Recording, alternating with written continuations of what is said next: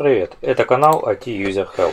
И сегодня в этом коротком видеоуроке я хочу рассказать о том, как решить проблему в вашей операционной системе Windows, если у вас выскочила ошибка 0x800F00831 во время установки обновления.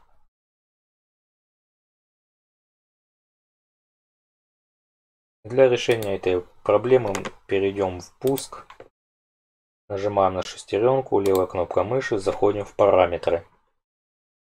Далее нам нужно перейти в сети интернет. Заходим.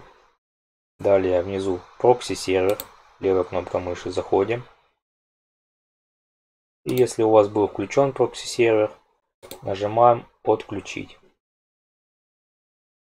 Закрываем настройки, перезагружаем компьютер и проверяем решилась ли наша проблема с этой ошибкой. Если нет, есть еще второй способ.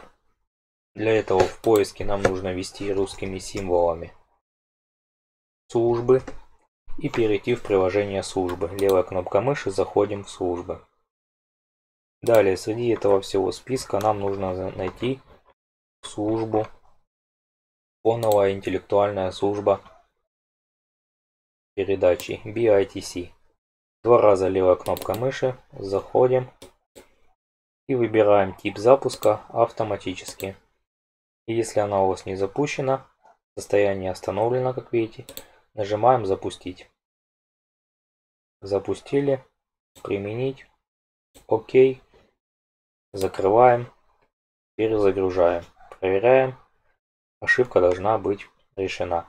Если вы используете э, версию Windows с английским языком интерфейса, то эта же самая служба будет называться не фоновая служба, а Background Intelligent Transfer Service. Находим ее в службах и делаем те же самые действия.